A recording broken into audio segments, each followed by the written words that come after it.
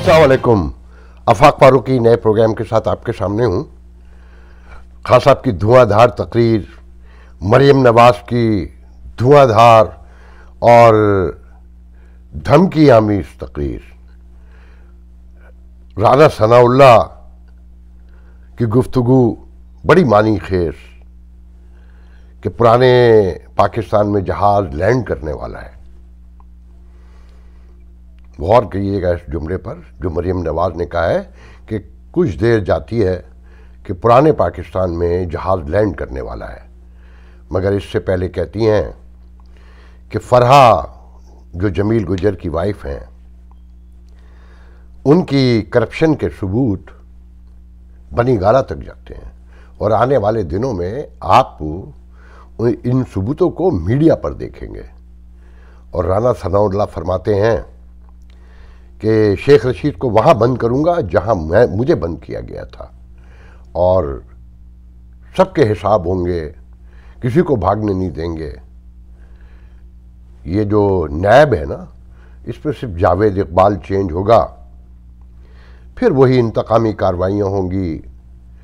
आज के मदीना के जो खुलफा राशदीन के दौर के लोग वापस लौटे हैं यहाँ, ये अब जेलों में होंगे। ये माशरा कभी नहीं सुधर सकता। सुलह जुई कभी नहीं आएगी कि एक ने गलती की है तो दूसरा दरगुजर से काम ले। आगे बढ़ने की कोशिश करें हम कहीं। नहीं, ऐसा कुछ नहीं होगा। करप्शन यकीनन हुई है, ये सबको पता है। और फरहा की करप्शन का मेरे इल्म है। बहुत अरसे से है। यहाँ अमेरिका से लोग गए हैं जो उनके साथ मिलकर काम कर रहे हैं। और कैसे कर रहे हैं? बस रहने दीजिए। आने वाले दिनों में सब पता चल जाएगा। मगर ये धमकियाँ जो हैं, आने वाले एहतसाब को भी मुतनाज़ा बना देंगी। यहाँ मसले हल नहीं होंगे कभी भी। कि भाई इदारों का काम होता है कि वो करप्शन को नोट करें, पकड़ें, सज़ाएँ, दें, दिलवाएँ, अदालतें जाने। हुक्मरानों का क्या काम इन चीज़ों से? मगर रियासती इदारे तो हैं ही नहीं। यही जमहूरी पार्टियाँ जो हैं, रियासती इदारे हैं, यही सब कुछ है, थानेदार इनका, डिप्टी कमिश्नर इनका, वो कोई भी दौर हो। बहरहाल, आगे बढ़ते हैं। आज इजलास तो आपने देख ही लिया कि एक आयत पढ़ी गई, फाता हुई मरहूम एम एन ए के लिए और इजलास मुलतवी हो गया और सब खामोशी से चले गए। किसी ने हंगामा ने किया, नहीं किया कि सबको पता था कि यही होना है। मगर शहबाज शरीफ ने बाहर निकल कर धमकी दी कि 28 को अगर इजलास नहीं हुआ मंडे को तो फिर दमादम मस्त कलंदर होगा। लेट सी अच्छा खान साहब, जो कह रहे हैं कि तीन चूहे मेरे पीछे पड़ गए हैं, मगर दौड़ गली गली खान साहब रहे हैं। ये बात मरियम की ठीक है कि भागा फिर रहा है, एड़ियाँ रगड़ रहा है नैरो मांग रहा है। और तुम्हारी हुकूमत बैरूनी क़वतों ने या सियासी पार्टियों ने नहीं आवाम ख़त्म करने जा रहे हैं। और ये एन आर ओ ये जो कुछ भी मांग रहा है, उनसे मांग रहा है कि खुदा के लिए मुझे बचाओ। वो जो जानबदार थे, अब गैर जानबदार हैं और कहीं सालिस हो गए हैं और जिनके लिए कहा जाता है कि वो जानबदार हों, गैर जानबदार हों और सालिस हों, मगर वो जानबदार ही हैं कि निज़ाम हस्ती वही चला रहे हैं। तो फिर मैं यहाँ खान साहब की तकरीर पर आने से पहले एक बात आपसे ये कहना करना चाहता हूँ। मेरा बहुत एहतराम का रिश्ता है अटॉर्नी जनरल के ख़ानदान से।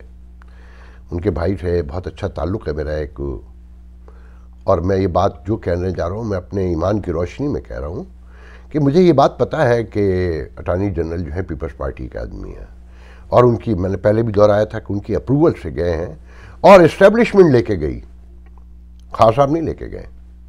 उन्हें यह उदा इस्टेब्लिशमेंट ने बकौल उनके ज़राए के कि उन्हें ज़बरदस्ती दिया गया, उनसे कहा गया मुल्क की खिदमत के लिए तो ये जो रेफरेंस है, इसने मुझे शक में डाल दिया है कि जैसे कुछ खबरें ये हैं कि कहा जा रहा है कि पीपल्स पार्टी अरशफ जरदारी शहबाज शरीफ से फजलरहमान से हाथ करेंगे। और जमहूरियत एक नई करवट लेगी और क्या क्या कहा जा रहा है, मैं उस पर बहस नहीं करूँगा।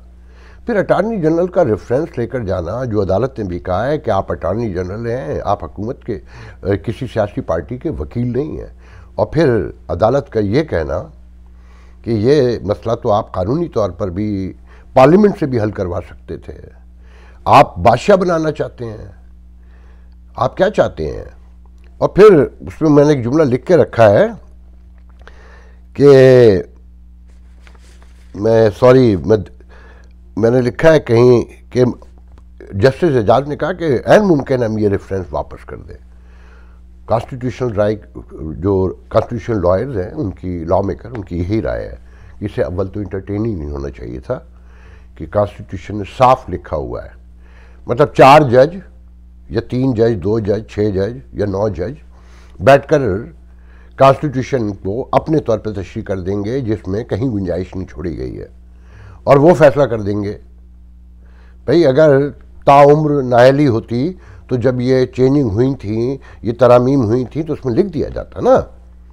मतलब लिखने वाले रजा रब्बानी जैसे लोग, या जो इतने बड़े बड़े लोग थे उस वक्त, वो सब अहमक थे।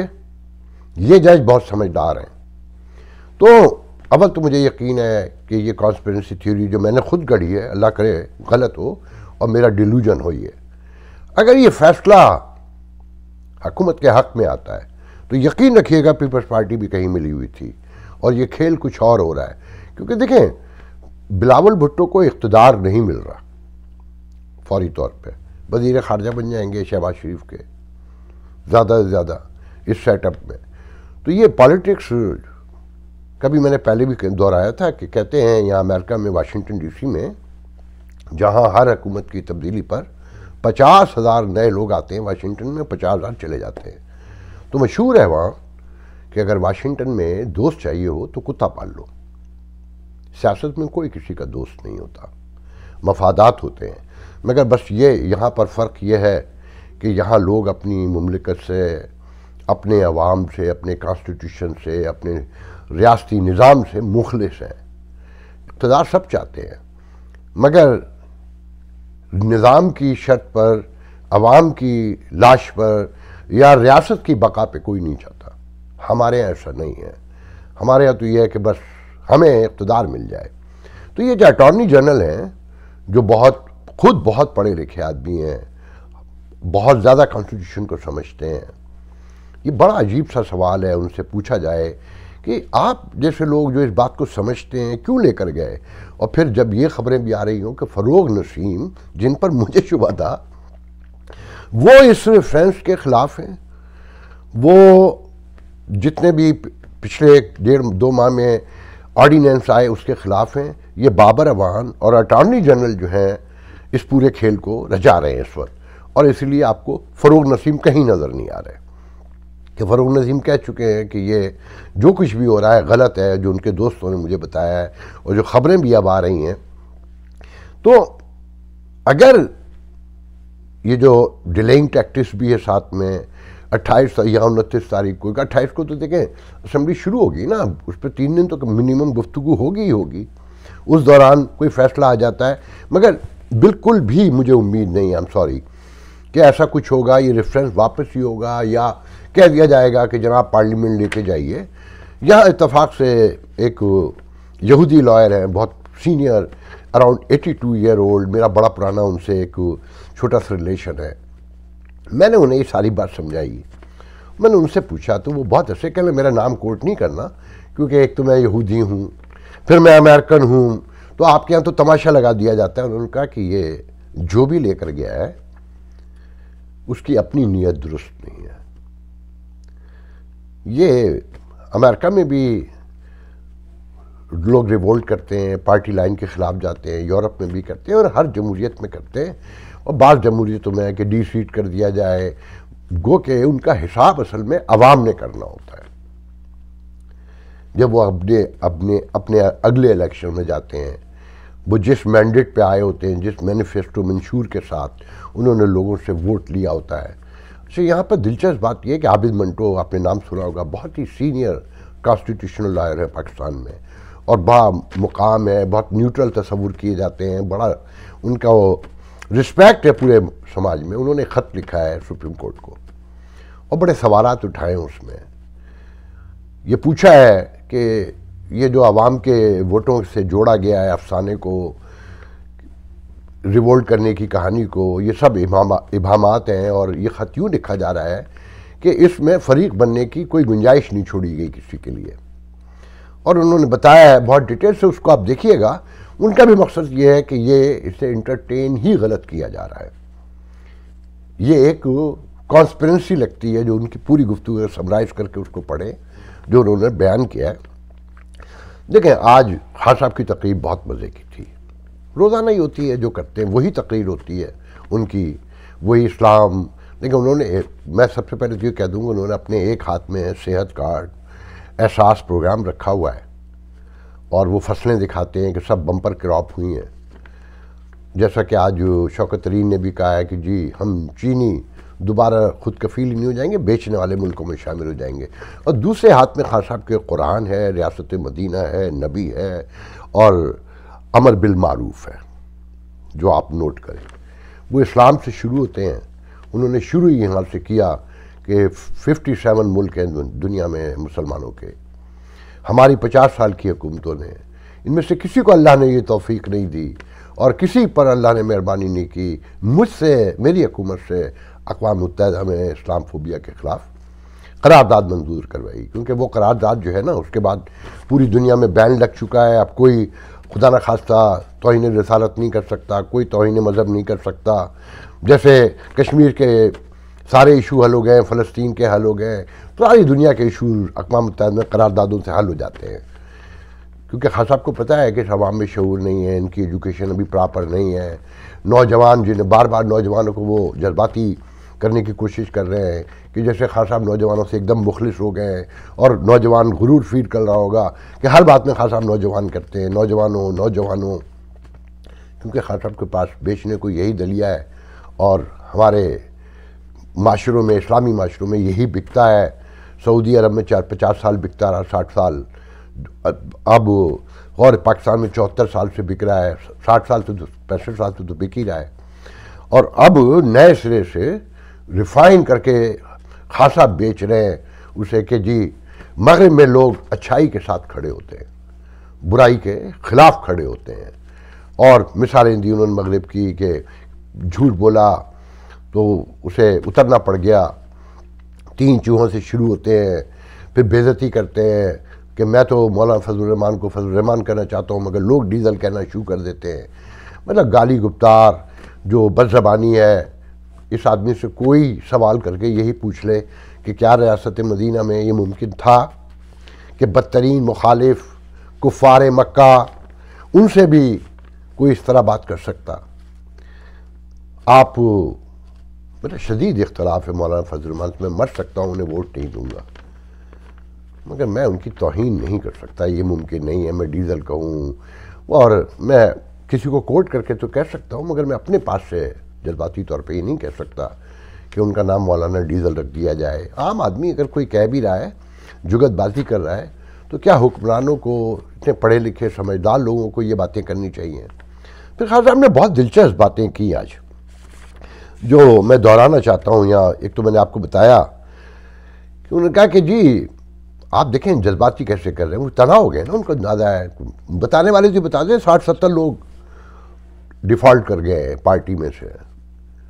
मगर कुछ मजबूरियाँ हैं तीस चालीस तो तकरीबन हो ही गए हैं, और कुछ असम्बली में भी अब बैठे हुए थे, जो इजलास हुआ।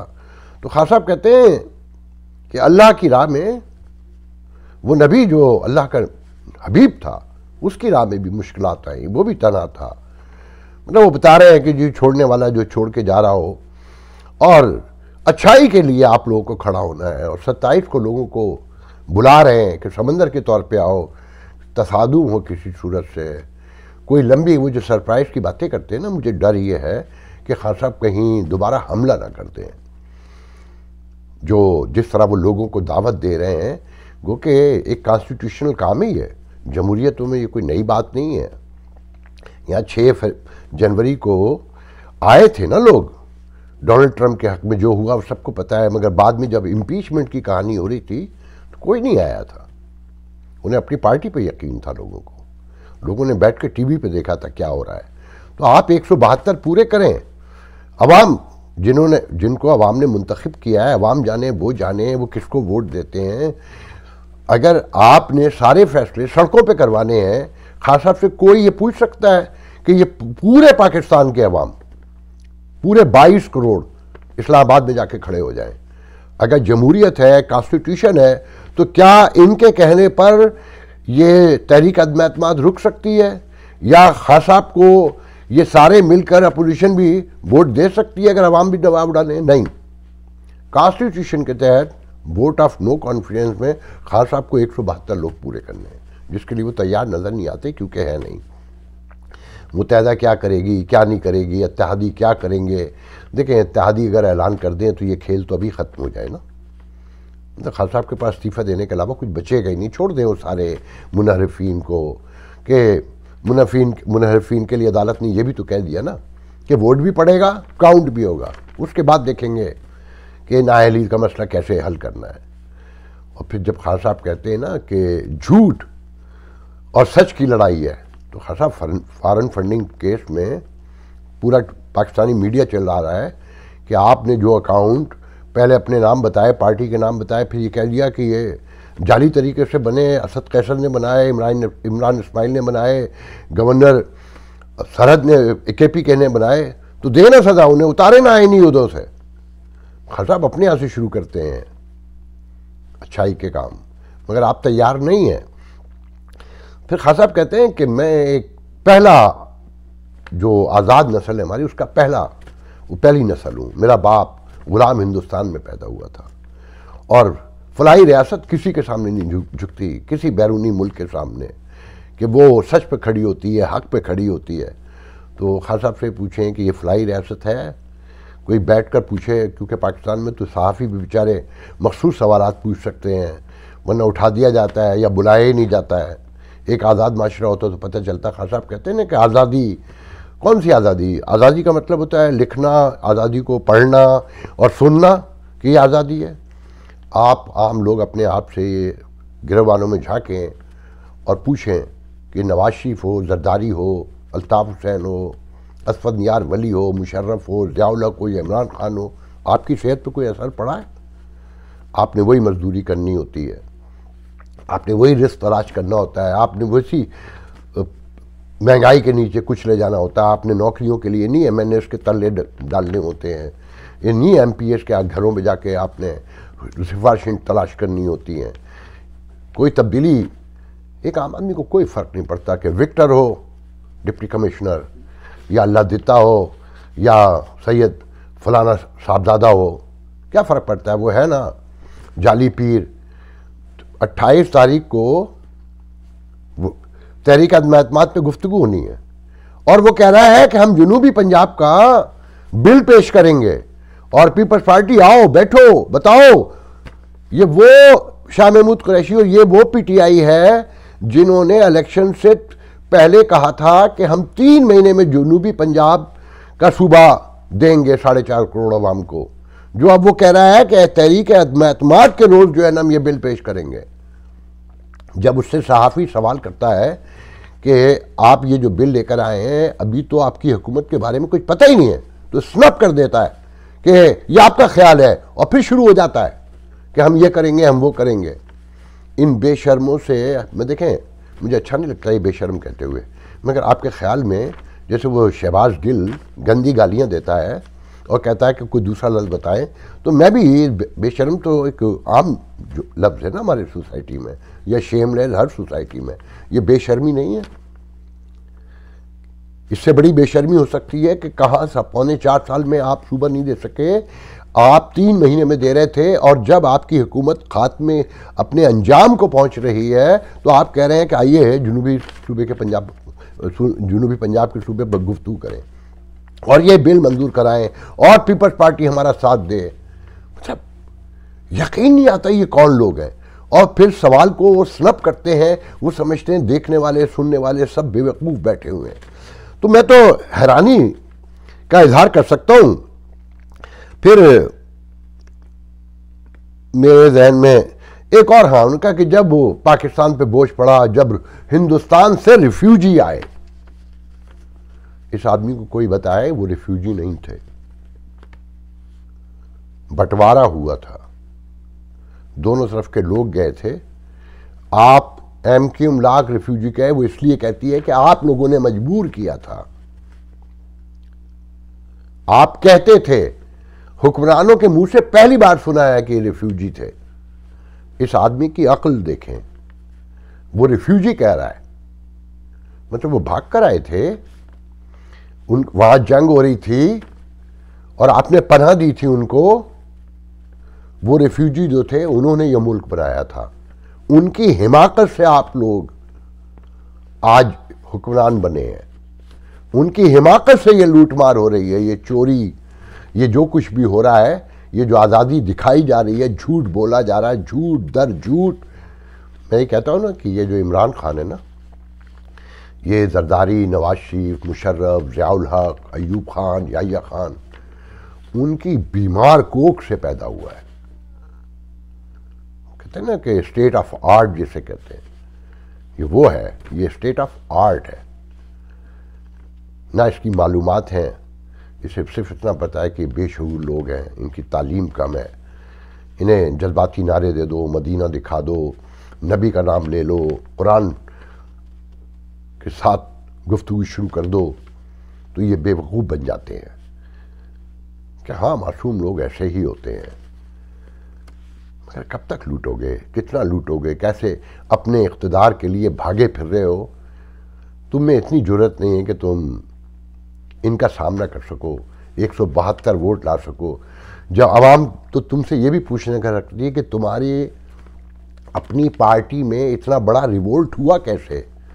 पहले भी जब के पी के में तुम इंतबात जीते, अगले इलेक्शन से पहले तुम्हारे यहाँ रिवोल्ट हो चुका था। पैंतालीस लोग तुमने निकाले थे, मगर कार्रवाई नहीं की थी तुमने उनके खिलाफ। तुम जब वोट खरीदते हो तो वो ज़मीर का वोट कहलाता है। तुम्हारे पास एक सबूत नहीं है। एक छोटा सा सबूत अभी तक। मगर तुम कहते हो, ख़रीदा गया, बेचा गया। ये तुम वो रियासत मदीना बता रहे हो, जो तारीख में मुसलमानों के नाम पे शर्मिंदगी के अलावा कुछ भी नहीं होगा। ये बेमानी, ये चोरी, इकतदार का लालच, जाने कहाँ लेकर जाएगा? तो जनाब, एक तफसील लंबी हो गई है। सिर्फ़ मैं आखिर में ये कहना चाहता हूँ कि आप लोग जागें, सिर्फ़ आप लोग जागें। मैं किसी की हिमायत नहीं करता आप लोग जानते हैं। मगर निज़ाम को बढ़ने दें, उसके अपने असल, हकीकी सोल के साथ, तब आप आगे बढ़ेंगे। मैं पेशन गोई कर रहा हूँ। और आप पेशन गोई क्या आप सबको पता है कि ये आने वाले आपको कुछ नहीं देंगे। कुछ भी नहीं देंगे। ये निबट ही नहीं सकते। ये खुद भी डरे हुए हैं। मगर निज़ाम चलेगा कंटिन्यूशन होगा।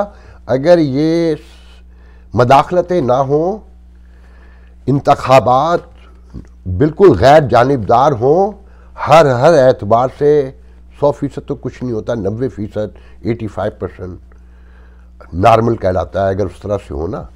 तो यकीन रखें, ये नवाज़ शरीफ, ये जरदारी, ये भुट्टो ख़ानदान, कोई भी ना होता आज। सब फारिग हो चुके होते, निज़ाम दुरुस्त हो चुका होता। अब देखें हिंदुस्तान में। देखिए मोदी कुछ भी हो, चाय वाला था आप क्या कोई तस्वुर भी कर सकता है, कोई एक आम आदमी। आप तो ये देखें कि एम के एम आई उसमें अपने लोग घुसेड़ दिए, मिडिल क्लास से आई थी ना, उसे बर्बाद कर दिया। यकीनन उसमें अपने लोगों की भी गलतियाँ थीं, मगर हर पार्टी में जो पीपल्स पार्टी, एक अच्छी पार्टी के तौर पर, ठीक है, इसी कोक से निकली थी, वो भी इसी नर्सरी से आई थी, मगर एक सोल थी उसकी। अब क्या है? किसी के पास कुछ नहीं है खोखले हैं सब। आप यकीन रखें कि अगर आप निज़ाम को चलने देंगे तो ये सब गायब हो जाएँगे। आपका क्या ख्याल है? मुझे हमला जब बोलता है अच्छा लगता है। या मरियम बीबी बोलती हैं तो मैं ही समझता हूँ कि वो इस मुल्क में कोई तब्दीली ला सकते हैं। ये दोले शाह के चूहे हैं ये सब। इनके दिमाग में कुछ नहीं है। इकतदार की ख्वाहिश के अलावा इन्हें पता ही नहीं है कि हमारे माशरे के तकाजे क्या हैं, ज़रूरतें क्या हैं। हम लोगों को, इस मुल्क को कैसे आगे ले जा सकते हैं? आज के लिए इतना बहुत। इन कल आपसे फिर बात होगी। अल्लाह हाफिज़।